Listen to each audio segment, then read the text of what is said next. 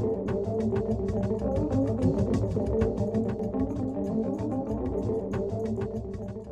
This is a presentation of the Center for Advanced Study at the University of Illinois.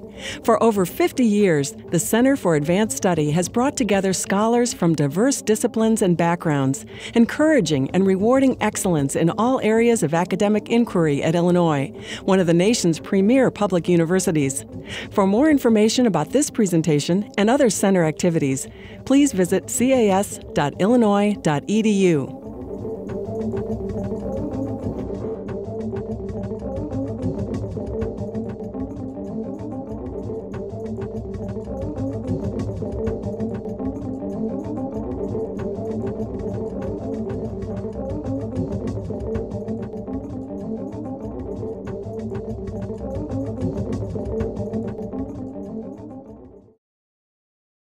today we have, I, I, guess I would call Mark an old friend. Um, we have, I guess, yeah, the first time I met Mark was at a conference on music and culture in Granada, Spain, uh, which was a wonderful event, even though it was 110 degrees, so it was very hot.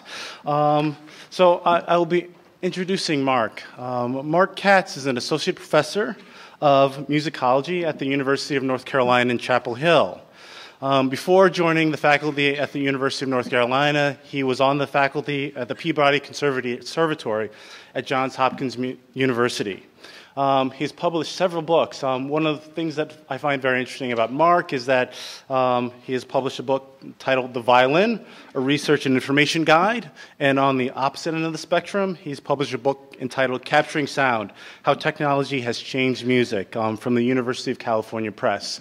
So, Mark is kind of an eclectic scholar um, of violin, music, technology, and um, of popular culture. Um, he lectures frequently to academic and popular audiences on the politics of music, culture, and most recently he's been working on a project um, entitled The Groove Music. Um, and other appointments and connections Mark has. He's the, on the advisory board of the Journal of Musicology and the editorial board of the Journal of Society of American Music. Um, so again, it's with great pleasure I'd like to um, introduce Mark Katz, whose talk today will be entitled Mix and Scratch, The Turntable Becomes a Musical Instrument. Um, please welcome Mark Katz.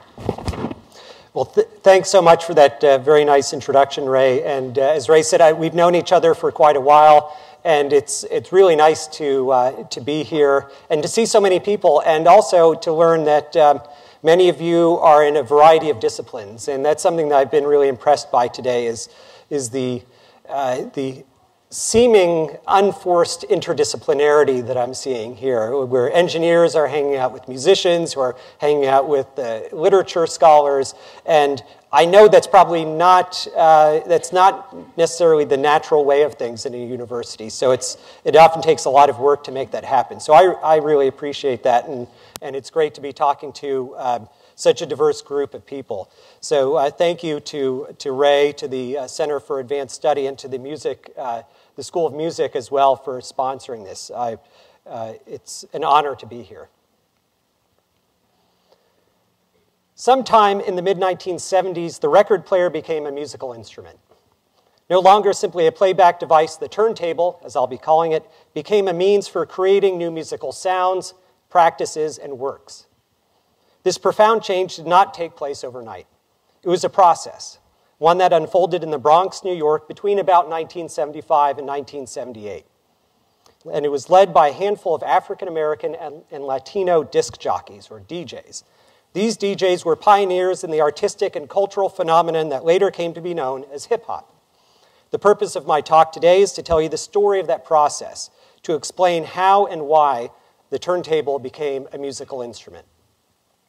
My talk has three parts. The first two will focus on the contributions of a pair of DJs, Grandmaster Flash and Grand Wizard Theodore, who were central to the transformation of the turntable.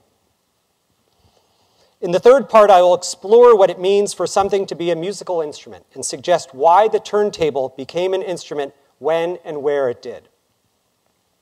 Before we visit the 1970s, I want to play a short video I took in, in 2008 of a practice session by DJ Qbert, one of the most creative and innovative DJs of the past 15 to 20 years. The reason I'm starting outside the chronological bounds of this paper is to give you what I hope will be a fairly clear case of the use of the turntable as a musical instrument. And I hope this clip will provide a helpful context for understanding my arguments about the musicality of DJs and the instrumentality of turntables. In other words, when I want to convince someone that DJs can be musicians, I like to show them this clip. Uh, this is a clip, a, a, video that I took in uh, DJ Qbert's house in uh, uh Burlingame, uh, California, on April 3rd, 2008. This was just a practice session. He had a gig the next day and was practicing, and he said it's okay to show this, by the way. So here he is, and you'll see me in the reflection of the, uh, of the glass there at some point. Thank you.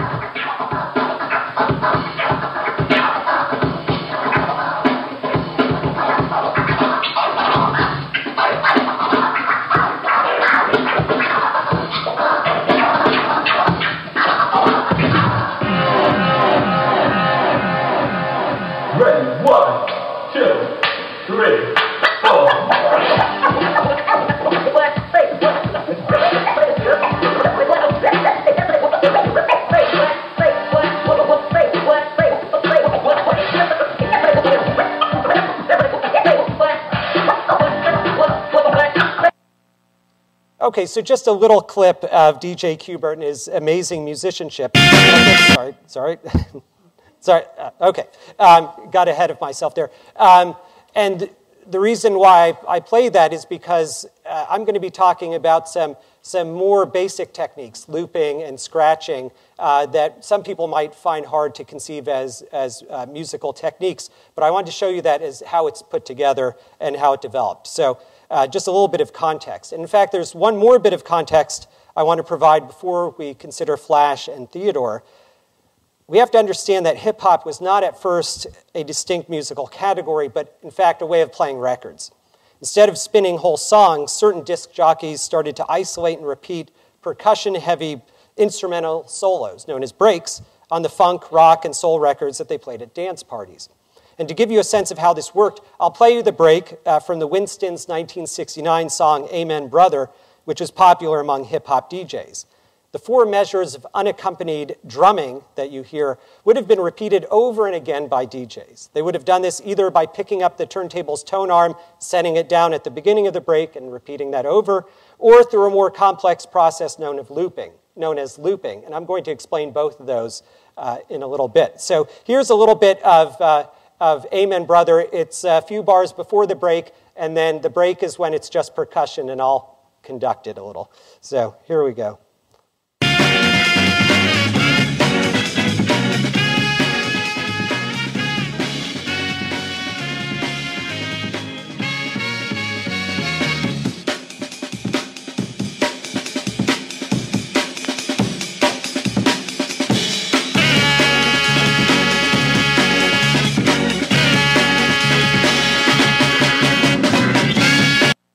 Okay, so just those four bars of unaccompanied drumming, and this should be as loud as possible uh, just to get the effect. Uh, so,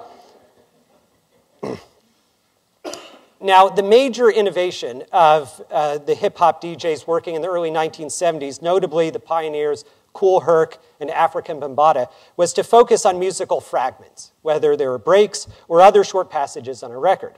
They were less concerned, however, with how smoothly they repeated those fragments or how different fragments connected with one another. The result was often a jarring discontinuity in sound or a bewildering succession of distinct genres, tempos, timbres, keys, and moods. Grandmaster Flash, who came a little after Herc and Bambaataa, was deeply influenced by both of those pioneering figures, but he felt that their jump cut style was something of a liability. In his 2008 autobiography, he explained the, po- the problem as he saw it with Herc's approach.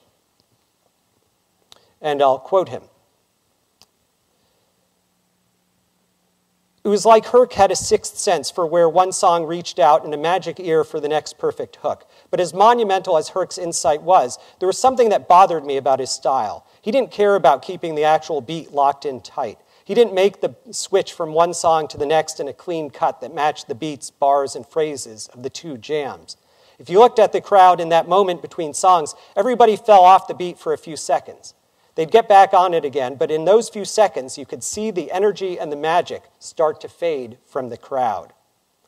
Flash felt that the, the, transition between songs was just as important as the tunes themselves. And around 1975, he set out to develop what he called, quote, a more scientific method of DJing that emphasized cohesion over fragmentation. His goal was to find a way to connect the breaks without ever losing the beat, so that listeners and dancers would never know where one ended and the other started. He already had the necessary equipment two turntables, a mixer, and two copies of the same record. What he needed was a method. The mixer was crucial to Flash's method. A piece of electronic equipment wired to the two turntables, the amplifier, and the speakers. The mixer has two basic functions to control which turntable is heard through the speakers and to allow the DJ to hear what is playing on the turntables, even if it can't be heard through the speakers. Typically, um, now to control the turntable, uh, to, to control which turntable is heard, the DJ usually uses the crossfader, one of the many knobs, buttons, and sliders on a mixer. Typically, it is a horizontal slider, and when pushed to the left, the record playing on turntable 1 sounds through the speakers. When pushed to the right, the record playing on turntable 2 uh, is heard. And when in the middle, both are heard. And I have a little diagram here that shows um, a mixer and two turntables. Now, using the crossfader, the DJ can switch smoothly between turntables without interrupting the flow of the music. Headphones plugged into the mixer make its second basic function possible. While one record is playing, the DJ can listen to another without anyone else hearing it and thus cue it up. That is, locate a desired starting point on a disc. So if you ever watch a DJ with a headphone cupped to one ear while putting the needle down or moving the record back and forth without ever interrupting the music that's coming out over the speakers, this is the mixer at work. Much more is possible on a mixer than simply fading and cueing, but these two functions are what make a continuous flow or mix of music possible. So Flash sequestered himself in his basement studio for hours on end, determined to harness the powers of his equipment in the quest for a seamless mix. His central insight, arrived at in 1975 through much trial and error, is reducible to a simple dictum.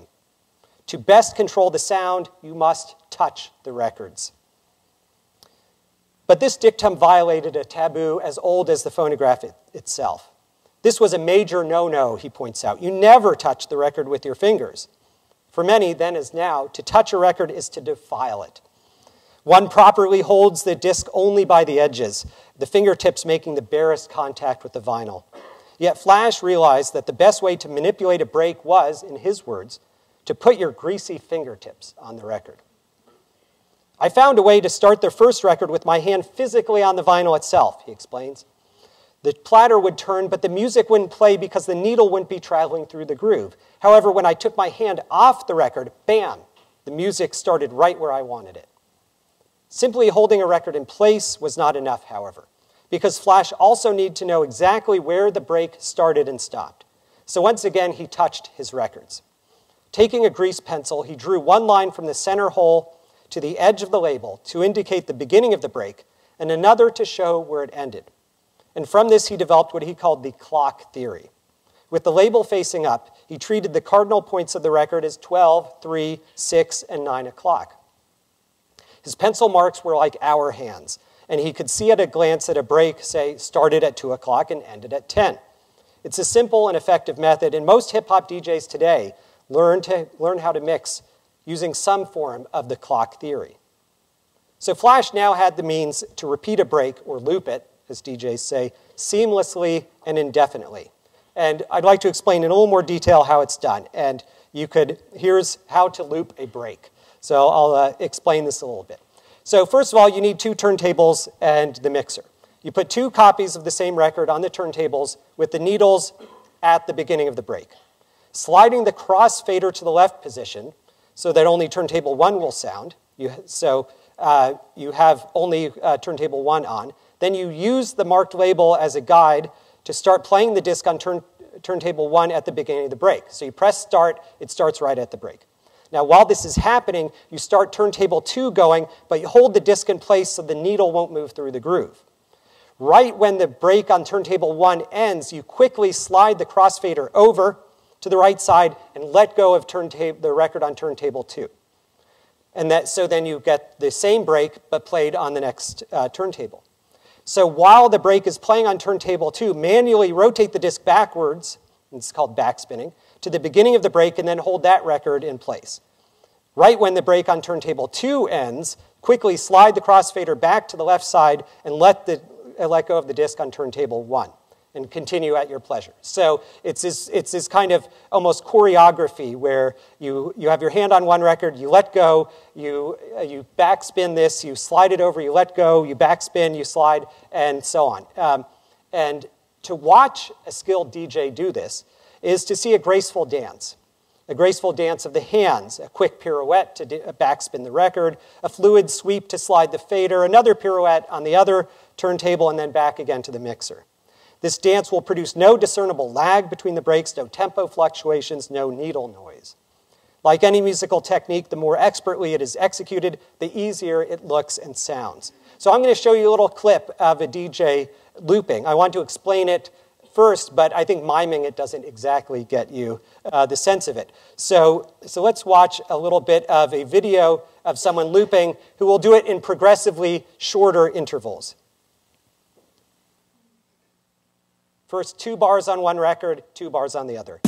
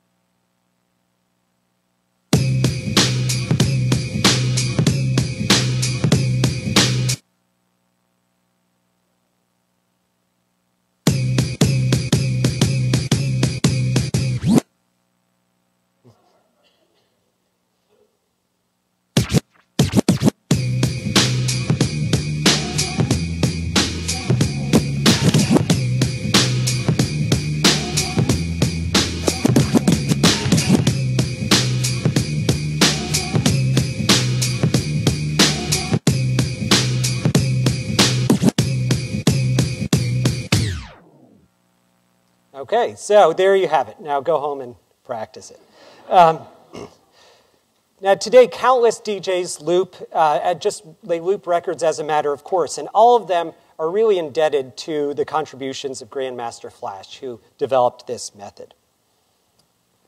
Now, for a time in 1975, Flash more or less lived with Gene Livingston, a Bronx DJ known as Mean Gene, so called, as Flash says, because he was the neighborhood bully and a real bastard. Um, now, Flash, who kept his equipment in Gene's apartment and spent long hours there, quickly realized that Gene was not the only DJ in the Livingston home. One day, he noticed a little guy, as he said, in the living room with the record player, picking up the tone arm and setting the needle down at the break with astonishing accuracy.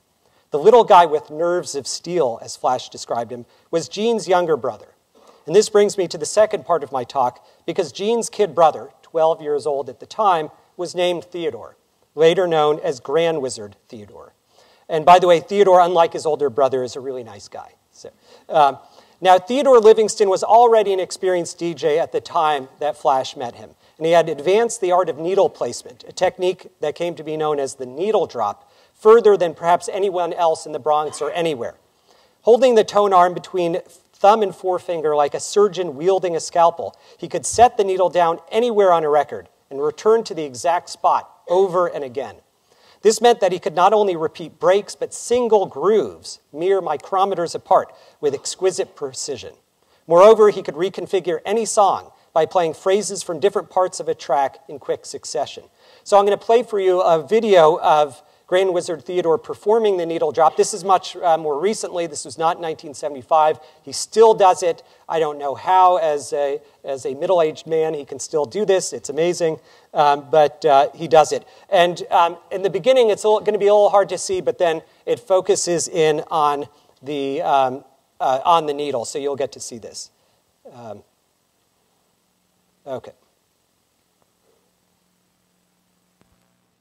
okay.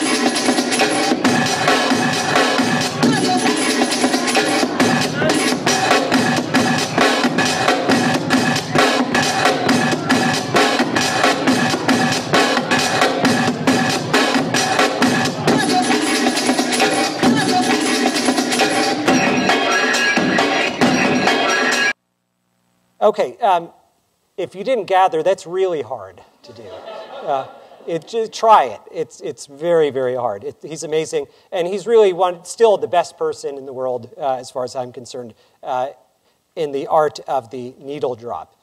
Now, Theodore's most important contribution to hip hop was not, in fact, the needle drop. It was a technique and a sound that continues to be heard to this day throughout the world and across the musical spectrum, and that's the scratch. The specific day of discovery is no longer known, but it was most likely in the late spring or early summer of 1976. We do know, however, exactly where it happened. It was in a handsome South Bronx apartment building at the corner of Boston Road and East 168th Street. Much is made of the importance of another Bronx address, 1520 Sedgwick Avenue, known as the birthplace of hip hop, where Kool Herc gave his first party. But I would say that 1199 Boston Road, the place where Flash met Theodore and scratching was born, is just as important an address. Now, Theodore, a student at Morris High School, had just gotten permission from his principal to make a mixtape to play in the cafeteria during lunchtime. And on this day, he was in his bedroom recording a set of songs from his two turntables to his tape recorder. While he was putting the tape together, his mother confronted him about the noise coming from the room. He was practicing cueing up the record on the left turntable to a specific spot in the song, getting ready to segue to it uh, from the record already playing on the right turntable. At the moment Mrs. Livingston appeared in the doorway, Theodore had his hand on the left record, ready to let it go. Now, I'm going to uh, let Theodore relate the rest of this story. And um, I have a recording. This comes from an interview I did with him. I just need to move over here and play it for you you know, I'm in the house playing my music, playing the music really, really loud. And she comes in the room and she had that look on her face. I was like, oh shit, I'm gonna get my ass whipped, you know. So she gave me that look, like, look, either you turn the music down or you turn the music off. so while she was in the doorway, you know, getting ready to jump me, I had one record playing on my right side, and I was holding a record on my left side, not knowing that all the all, all the levers on the on the mixer was because we had the up and downs. We didn't have the cross faders. We had the up and down faders. Oh, okay. Mm-hmm. So the up and down faders, all of them were up because I was trying to keep the same groove that I was on. Mm-hmm. So while she was in the doorway screaming at me, I was moving the record back and forth and forth and back. Now, at the time, a DJ wouldn't normally move a record like that. But Theodore didn't want to lose his place, and he also didn't want to hold the platter still, which could harm the motor. Moreover, he happened to have the volume up on that left turntable, whereas normally the volume would be down, so it wouldn't clash with the music from the other turntable. So it was only under these unusual circumstances that one would hear the rasping sound of moving the record back and forth, that sound, against the beat of another song. Theodore liked what he heard, and as he explained, when she left the room, I just practiced it with different records, and, and it became the scratch, you know? Not long thereafter, he unveiled his new technique at the Sparkle, a club on Mount Eden just south of the Cross Bronx Expressway. The record he played was Thin Lizzy's Johnny the Fox Meets Jimmy the Weed from 1976, which not only contains one of the classic drum breaks, but a line that made the song especially popular among the record spinners. They got some crazy DJ will send you, who will send you right up to heaven. is the line from that song. Theodore wasn't the first to create a scratching sound using records. No doubt countless others had pushed a record underneath the turntable, underneath the needle, whether accidentally or intentionally. But Theodore was the one who saw its musical potential and introduced it in public as music. Theodore, then, can rightly be identified as the progenitor of one of the crucial sonic signifiers of hip hop, and a technique that helped spawn a new form of DJing that came to be known as turntablism. And if we flash ahead to someone like Qbert. Qbert, who we saw in that video, is considered by many to be the apotheosis of turntablism. So, in condensed form, I've just related the story of Grandmaster Flash, who brought seamless mixing to hip hop, and Grand Wizard Theodore, who introduced scratching. The significance of their contributions is fairly easy to state, and I repeat Grandmaster Flash and Grand Wizard Theodore transformed the turntable into a musical instrument. But what exactly does this mean? How does this transformation take place? So, this brings us to the third part of my talk, where I want to explain my claim about the instrumentality of the turntable. Nearly anything can be an instrument. Take a partially filled jug, blow across the top, and you have a wind instrument. Hold a pair of spoons in one hand and strike them against your knee in rhythm, and you're playing percussion. Both spoons and jugs can be considered, like the turntable, essentially found instruments associated with African American musical practices. The turntable presents a more complex case, however. Unlike jugs and spoons, the turntable was intended and used to make music. But traditionally, it is not the person playing the turntable who's making the music. The music has already been made and is simply reproduced on the turntable. And this is why it is often difficult for people to understand why some DJs claim that they are musicians and that the turntable is a musical instrument. After all, anyone could put a record on a turntable, set the needle down, and press the start button. So, how does this make the turntable a musical instrument? It doesn't. But Flash, Theodore, and others were doing much more than this. Like any instrumentalist, they were creating and manipulating sounds in real time. When Flash extracted a break, looped it, and segued to another break, he was not simply reproducing songs. He was creating something new and creating it in the moment. Theodore went even further. When he pushed a record back and forth underneath the stylus, there was little semblance to the sounds originally recorded. It is because of this real time manipulation, I would argue, that we could understand the turntable as a musical instrument. There's a difference, however, between an object that is treated like an instrument and one that is identified and understood as an instrument. So I could tap out the Amen Brother break on this podium, and you could argue that I'm making music, but it's still a podium. The transformation of an object into an instrument involves not a single act, but a process. And this process requires not a single individual, but an entire community. So I would thus propose that an object can be considered a musical instrument when, and I'll put this up on a slide, first, it involves real time sound manipulation. It has a body of techniques developed specifically for it. It has its own distinctive sound. The object itself is either specifically designed or modified for music making, and the sound it generates is considered to be music by a community of listeners. I've already mentioned how DJs manipulated sound in real time, so let me move on to the second point. The turntable, just like all traditional instruments, also has its own catalog of idiomatic techniques. For example, there's backspinning, slip cueing, punch phrasing, and of course, scratching.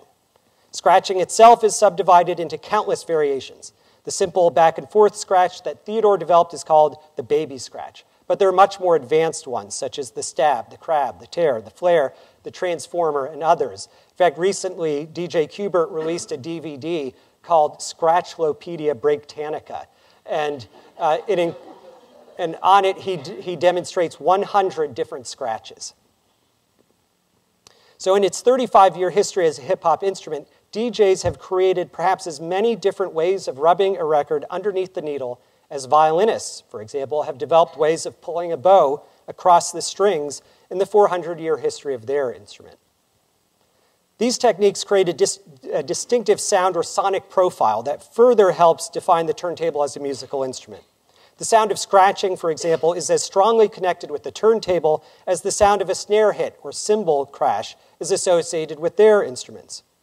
Yet, unlike other instruments, a turntable not only has its own sounds, but can sound like every other instrument, from an accordion to a zither, simply by playing recordings of those instruments. This is an asset, but also a liability. When watching DJs, it's not always clear which sounds they are creating or transforming and which are coming unmodified from the records. For observers, then, there can be a disconcerting disconnect between cause and effect. Little evidence of that direct relationship between a musician and instrument that is so clear when, for example, a guitarist strums strings or a pianist strikes keys. Ironically, it is the turntable's sheer diversity of sonic possibilities, its ability to sound like anything else, that not only makes it an instrument of infinite possibilities, but brings its very instrumentality into question. Part of the turntable's image problem, too, is that it did not begin life as a musical instrument. But not all musical instruments were created as instruments. Many started out as something else cowbells and washboards, for example.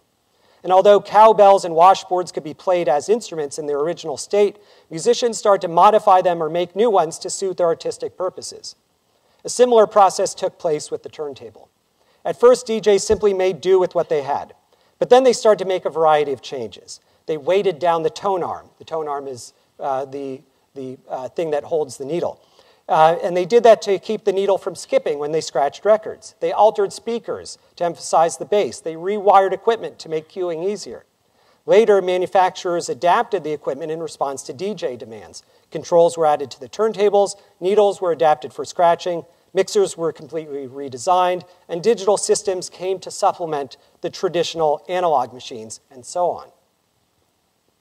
Having idiomatic techniques, a unique sound, and specialized design is not enough to make the turntable a musical instrument, however.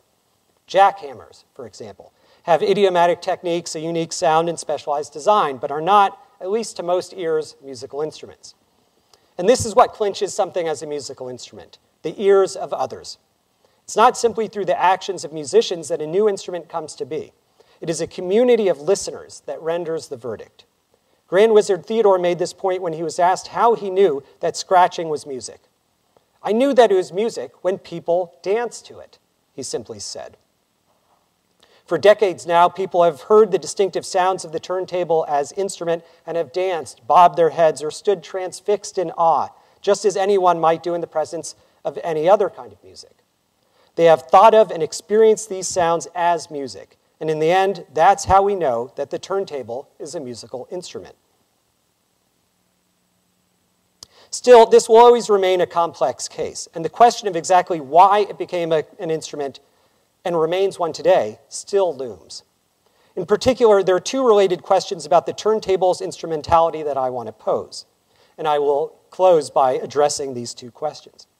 First, how is it that the turntable has flourished as a musical instrument for decades, while dozens of other instruments introduced in the 20th century have largely disappeared? There are dozens of instruments you've never heard of that were invented and then died out in the course of the 20th century. Now, one answer is that the turntable offers a satisfying and largely intuitive physical interface. The hand rests comfortably on the grooved, slightly tacky surface of the record. That tactility is enormously important to DJs. They often wax eloquent about the inimitable feel of vinyl. When pushing a record underneath a turntable needle, transforming music held within its grooves, one has a sense of actually touching sound.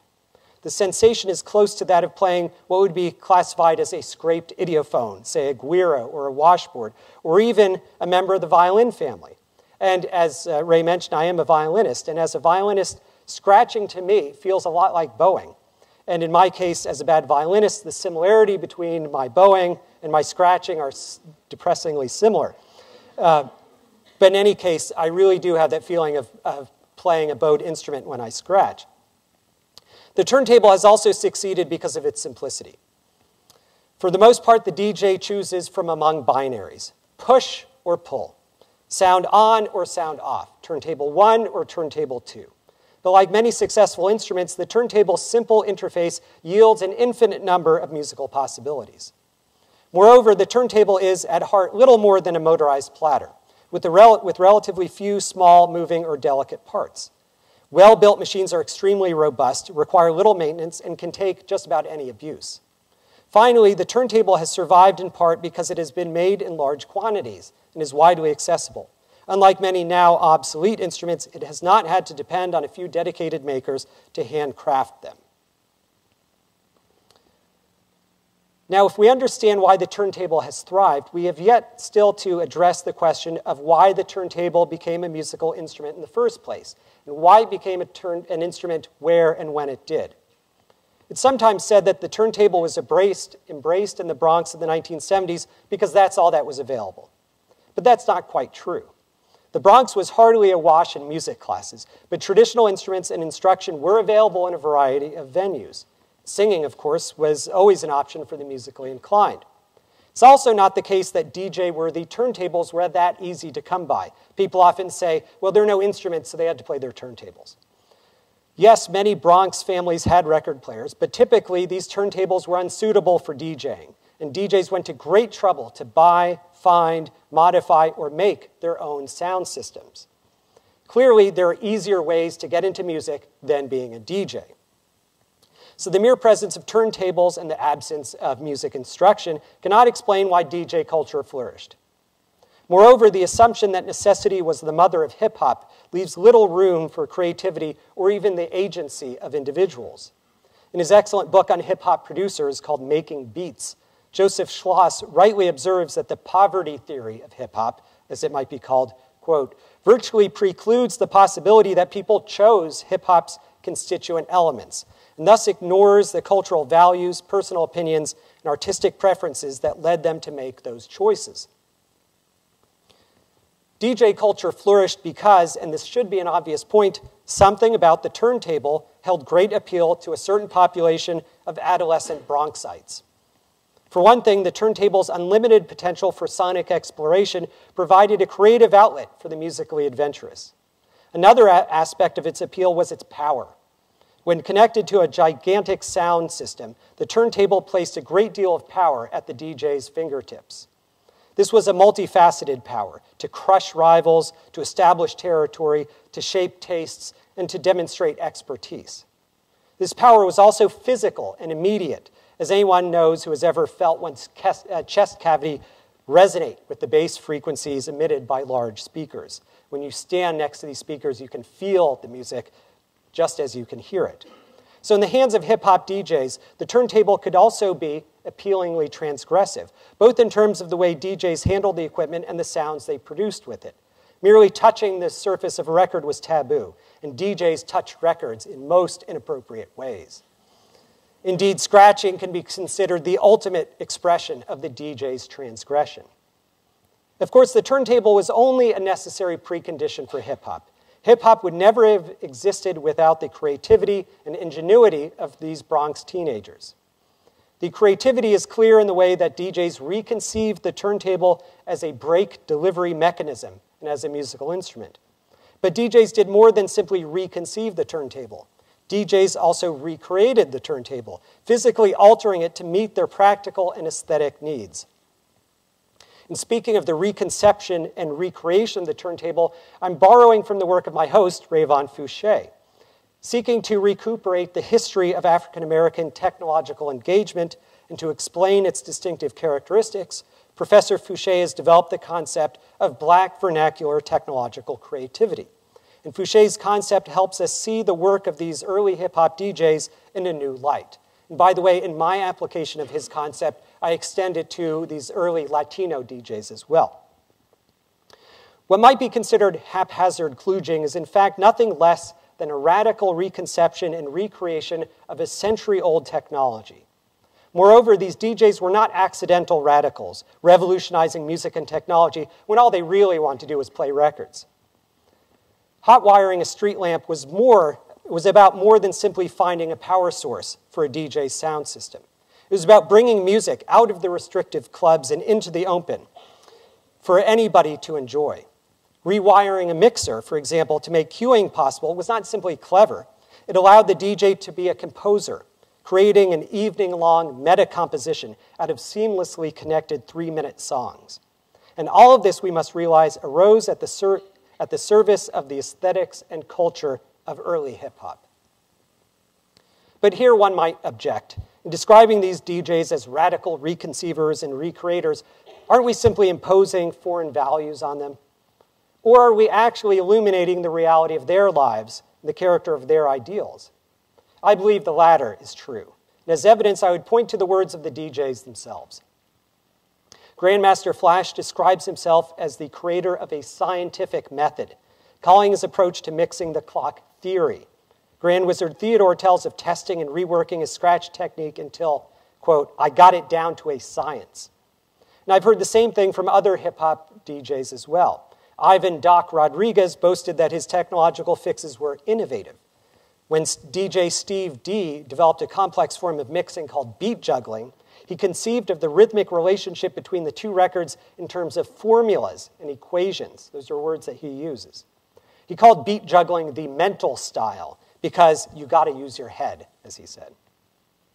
When speaking of their art in general, DJs often talk of taking it to the next level, innovating beyond what is currently deemed possible, and dropping science or educating those who observe their work. For DJs, innovation is a central value. and it's pursued through scientific concepts and theories. And technology, embodied by the turntable, is the vehicle through which they innovate. I would argue then that to portray these DJs as a community of technological innovators is to represent their values and ideals fairly. But of course, these DJs were also a community of musical innovators. So, to summarize, in the mid 1970s, Grandmaster Flash, Grand Wizard Theodore, and a community of technologically minded New York DJs developed new ways of playing vinyl records, mixing and scratching. And in the process, helped create a new musical instrument, one that I would argue is among the most significant instruments of the past century. And it is the story of that process that I hope to have illuminated today. Thank you.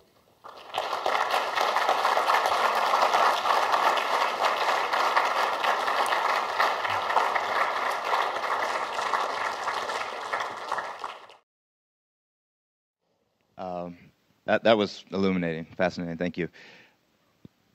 I like that you take the emphasis away from the culture of poverty onto why this was happening, but it seems to me that it's possible that there's another element involved, uh, and this is just my supposition, uh, that there's something to do with the reappropriation of culture that was deemed powerful and the ability to sort of harness that and rechannel the power. And I'm wondering what you think of that and if that plays into maybe why this was, was popular or popularized at the time. That's a very good point. That uh, what these DJs were doing was appropriating other people's music. They were taking music done by very powerful people like Aretha Franklin or by Aerosmith uh, or Kiss, for example. I mean, they would remix these things, they would reappropriate them. And um, so uh, the question is, it was that part of the appeal? And I suspect that did have something to do with it. Um, I, when talking to the DJs, and I interview a lot of DJs, that doesn't necessarily come out as the as the main reason they did it. Um, really, the reason why people uh, started manipulating breaks was because they saw that people liked to dance to them, and so the more immediate response was uh, was very local. That they were trying to um, trying to keep people dancing because these breaks were very short, so they looped them. Um, but I, I, think it is fair to, to see what they're doing as a kind of appropriation of mainstream culture and using it to their own ends. So um, I think that is a, a, valid interpretation. I think that's a good, a good insight.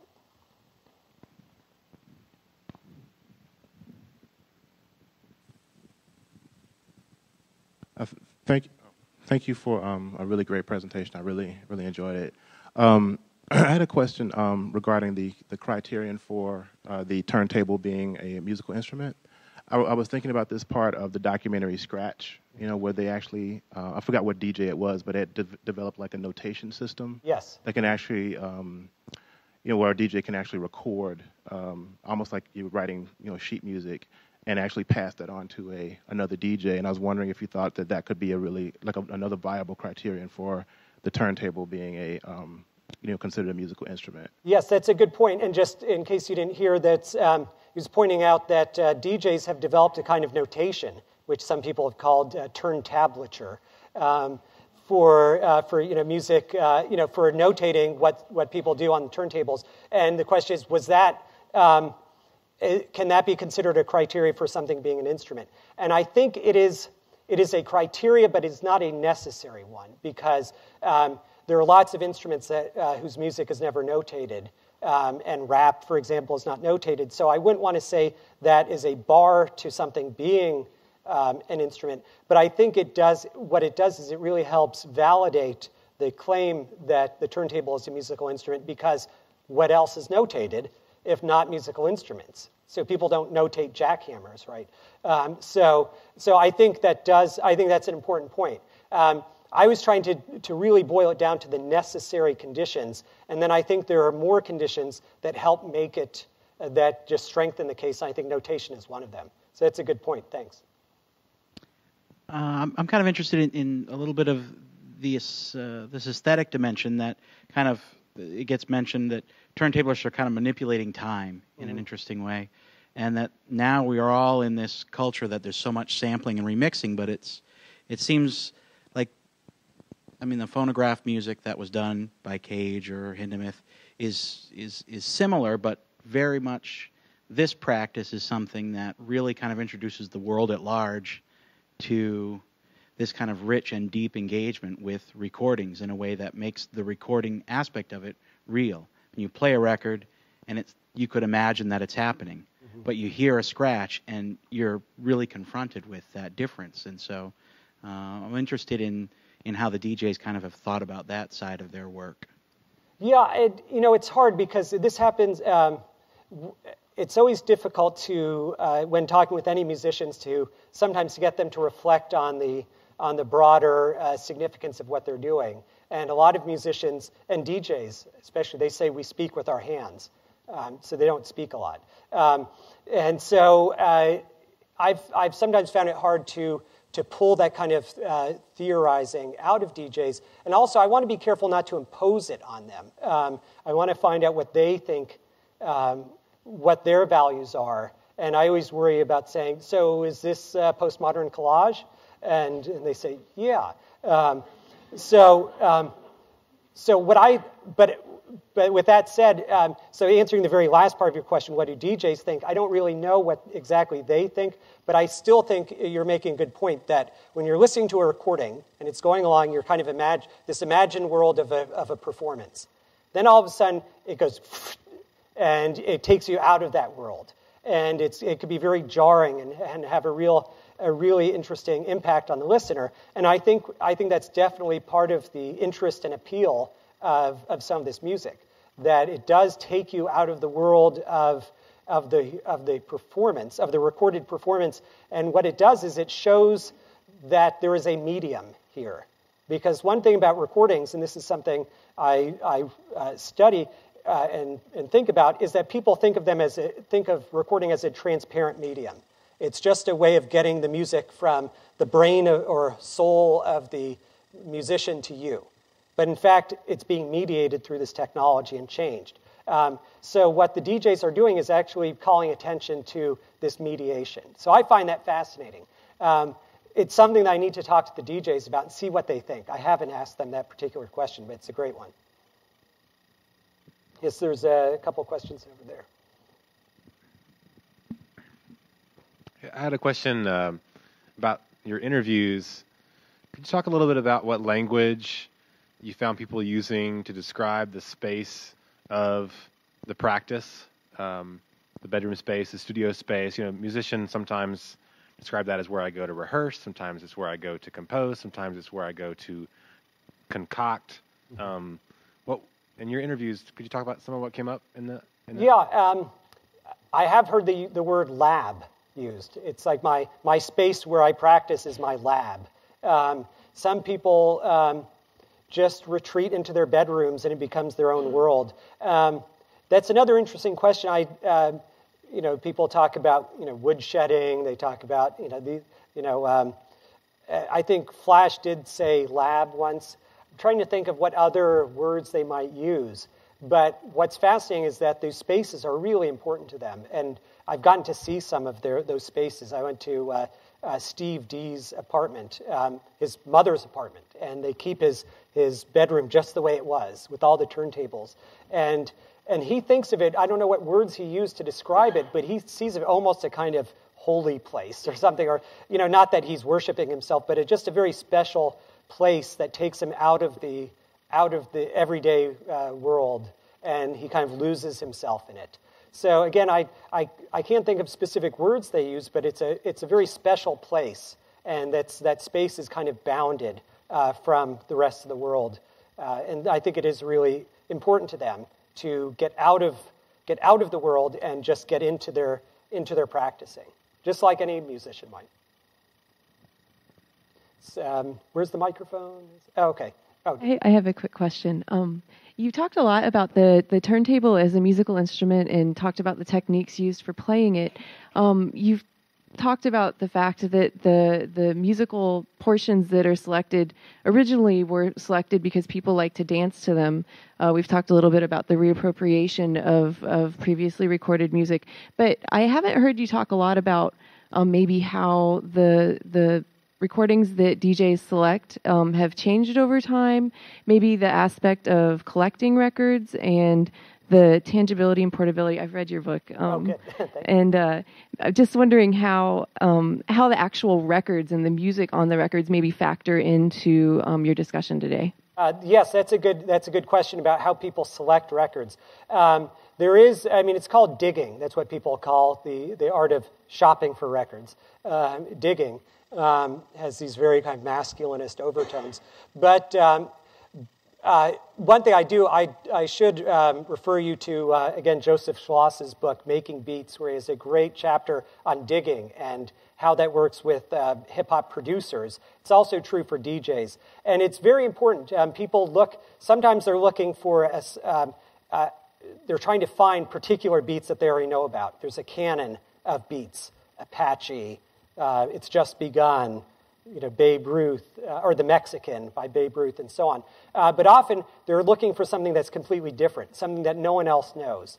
And they will look for anything. They will, they will go through children's records. They will look at Lawrence Welk records. They will, you know, uh, they'll look at, uh, you know, garage bands from the 1960s to find breaks. Um, one, um, Hawaii Five-O, the theme song has a great break. You know, Wonder Woman has has a cool break. Um, so, you know, people look anywhere, and the idea is, um, uh, is originality, finding a break that no one else has found, finding it in unusual places. And then you get to the, the tangibility aspect. Uh, people like looking through records, they like the physical interaction. And that is very important too. Um, it's almost kind of archaeological. They talk about getting dusty and digging and finding uh, you know, these finds uh, that are really valuable. So that tangibility is important, and it has changed over the years, especially changed with uh, digital technology, because now people could uh, dig in the virtual crates. Um, and that's just a little different. You know, pressing download is just a little bit different from spending three hours in a Salvation Army store to find this great break. So um, it has changed, and some people kind of um, uh, almost mourn that, that passing of, uh, it's not actually past, but the fact that people are no longer investing so much time in buying actual records. But that's a whole study in itself, and I would, I would tell you to read uh, Joseph Schloss's chapter on digging because it's, it's a really, uh, really fascinating uh, discussion of that topic. It seems, it seems now that um, you know there's there's there's always going to be records that you can dig up to find breaks and beats and interesting musical aspects, but um, but that's becoming more common now. But it seems like a lot of DJs now are going towards digging up um, world music, so to say, like yes. crazy, crazy stuff from from Vietnam or Cambodia or Bollywood. Bollywood, and that seems to be where like new reading reading for instance, like Wax Poetics and, and the DJs that they or what they talk about their favorite records for DJing with more and more that's more and more common is really obscure records from South America or you know everywhere else but the Western world. Yeah, that's a good point. Um, some some DJs feel that all the funk breaks, all the breaks from the late '60s to early '70s have been found, all the good ones. Um, so they are expanding. They're going uh, international to find uh, other breaks. Also, there's uh, for sam- uh, producers who sample things, part of it is also copyright issues. So it's, you know, you might not get in so much trouble if you sample a Bollywood beat. But in fact, there's a great story of uh, some producer sampling, didn't think it was anybody in particular, but sample Lata Mangeshkar, who is, you know, more powerful than Madonna. And uh, an Indian has recorded and has like an army of lawyers uh, at her disposal. And they sued this person to oblivion. Um, so you got to be careful who you sample. Um, so you, um, but in any case, you're right. People have expanded their, their digging because, first of all, they think that maybe they've exhausted some of the traditional breaks and because of uh, copyright issues. So can you pass that over over there?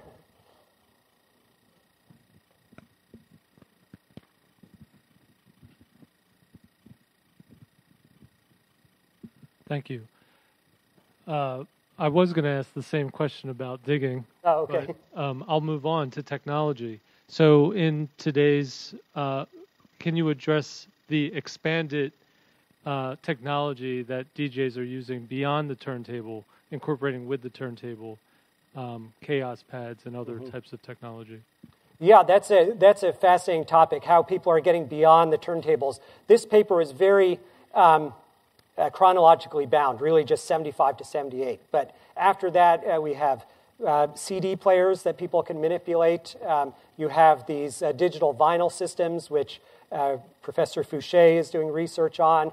You could talk to him about that. And that's where you use, you connect a laptop to turntables and use specially time coded records so you can manipulate MP3s off your laptop. You have um, any number of things. You have the Kaoss Pad where you can, where you can create uh, interesting effects. I've heard of some DJs um, plugging um, guitar pedals into their mixers so they can create effects by pressing down pedals.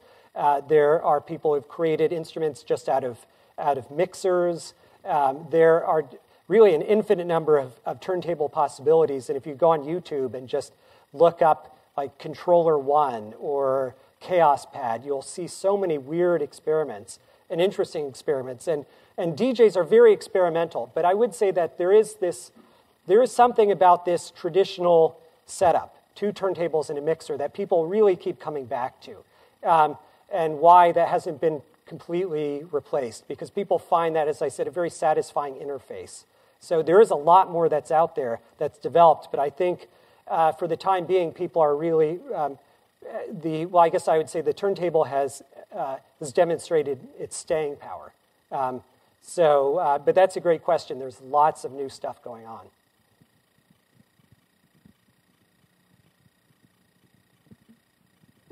Yes, can you pass the microphone down?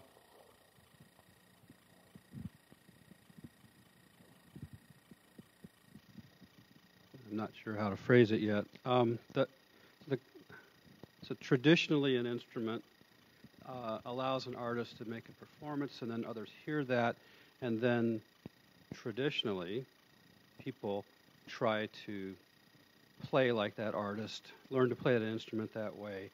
Um,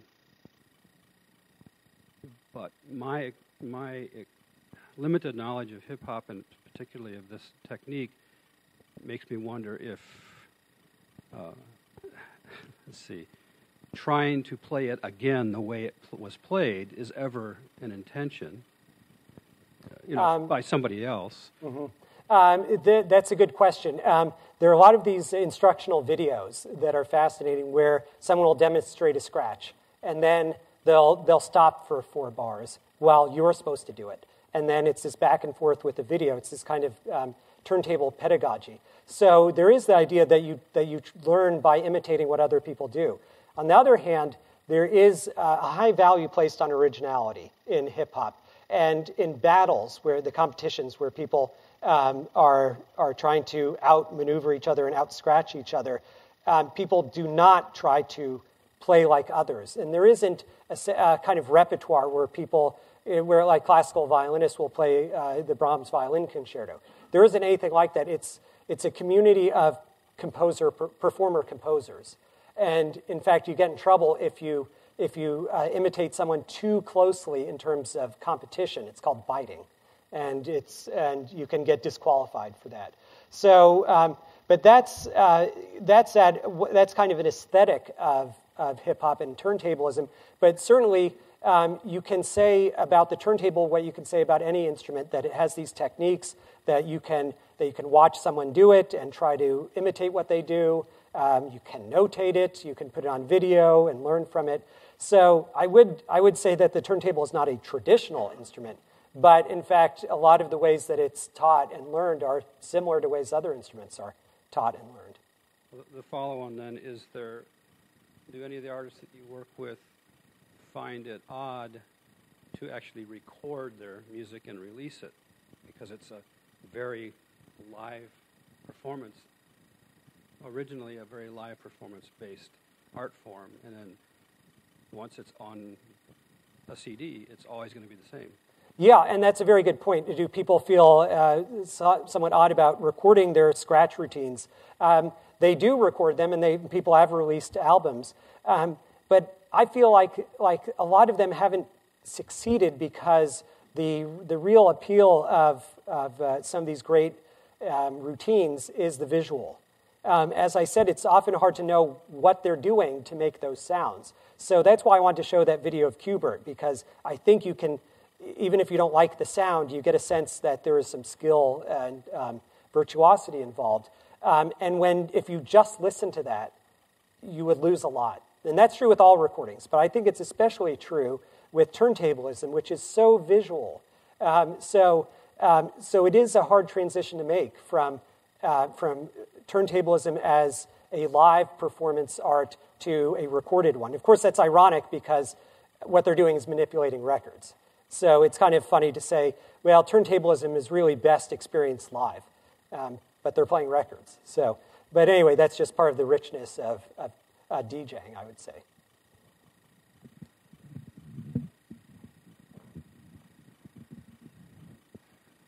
Um, well, the, the question I have is I, I know you've written about gender um, in your, your Music Quarterly article about gender in the DJ battle.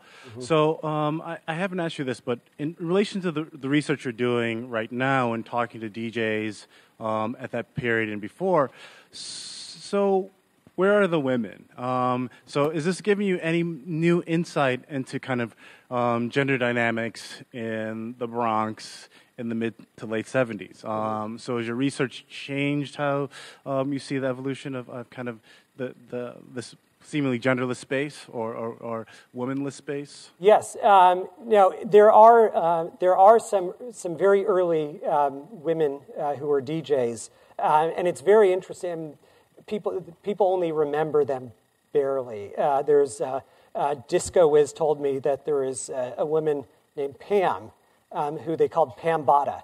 Um, so, which is a very rich uh, thing to think about because uh, she was basically named after, her nickname was after Afrika Bambaataa, who was a man. And so her identity was subsumed into this man's identity, Bambaataa. So she was Pam Bada. Um, and uh, there were some other there were some other DJs, uh, women DJs at the time, but really not many. There were more um, more women who were MCs, um, but really it did it did start. Uh, it wasn't exclusively male, but it was it was almost exclusively male. And the argument argument I make in that article you mentioned is not so much that that it was outright discrimination, but that the space the space of these DJ battles um, really served, specifically seemed to serve the needs of young men.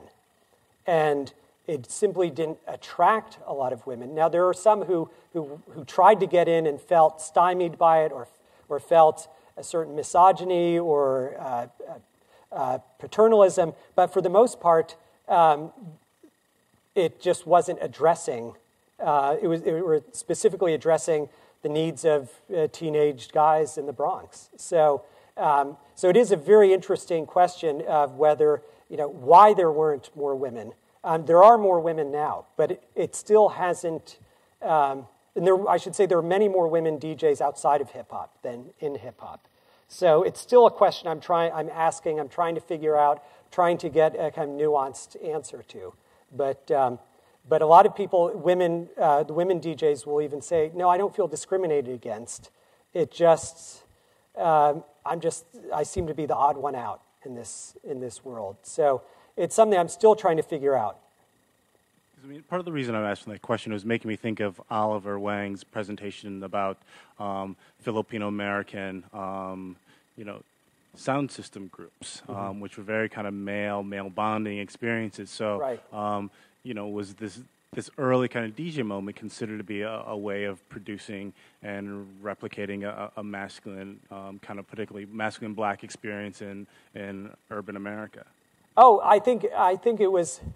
Um, I think you could bring race into this, but I think it's even, uh, and that's true. But I think it's broader. It's just the it's the condition of male adolescence uh, that uh, that DJing tends to serve, um, because there are plenty of white DJs and Latino DJs and Asian DJs who feel some of the same pull um, as uh, some of the African American DJs, and um, and I think I think part of it part of it does have to do later on with replicating the kind of authenticity people would see in the African American experience. You know, you've studied um, hip hop in Japan. It's often that's often part of it. Um, but some of this was happening uh, simultaneously. There were Latino DJs from the very beginning, and I think what they shared with the African American DJs the, uh, was was the condition of male adolescence, um, which is a very fraught time um, in any in any man's life. So, uh, so part of it was that they was trying to address a certain aspect of adolescence, and then part of it, as as it got as um, time moved on, was about kind of tapping into that authenticity of African American culture. So I think both those things are at work. And I think right behind you, you have to. Um, no question, but I just want to commend and praise your lecture for making for the making the language so accessible to everyone who c- come here today because it's the intricacies of the the art of hip hop of just there's so much slang and it's usually very hard to explain to someone who is trying to learn it and just the way you've been able to explain even the he just the down to the the nitty gritty terms that are used in the everyday culture it's just really great so Oh, thank you. No, I really appreciate that. I appreciate that comment, um, and it's something I'm really glad to hear that because I always afraid. I'm always afraid when I give a talk that that the people who know about hip hop will be rolling their eyes when I say this is a break, this is a turntable, this is what whack means. You know, um, so I worry about that. But on the other hand, I think it's worth the risk because I do. Um, I don't just want to talk to people who already know about this. I want to talk to people who don't know about it. So I really appreciate that comment. Thank you. Okay, last question. I just want to ask to what degree the early uh, DJs were remunerated for their performances, or if this was merely about status in the community. Uh, how did that play in terms of their motivation? That's a good question. Uh, how did they did they make money? How did they make money? Um, they could make money. Actually, they could make a pretty good living um, because they would charge admission to some of these parties, and then when they started playing in the clubs, the clubs would start paying them to uh, to play in the clubs. Um, they they got kind of um, uh, screwed over uh, when recordings came into play and things like you know uh, Rapper's Delight uh, was issued without any DJs, so they lost out a lot in that sense. But they were able to make money as as gigging DJs. But a lot of it was also status. That you can't discount that. It was as much about status or more so than about just making money because it wasn't. It was a kind of hit or miss um, uh, career. Um, so a lot of it really was about about uh, expressing power and getting friends, and for some men, it was about getting, you know, getting uh, the attention of women or the admiration of your friends. So, um, so that's a crucial part of it too. But sometimes they got paid. Well, again, I, I would like to thank Mark um, and, and, you all for staying to the last bit, um, for giving such a, a wonderful lecture on um, hip hop, music, culture, and technology. Thanks, Mark. Thank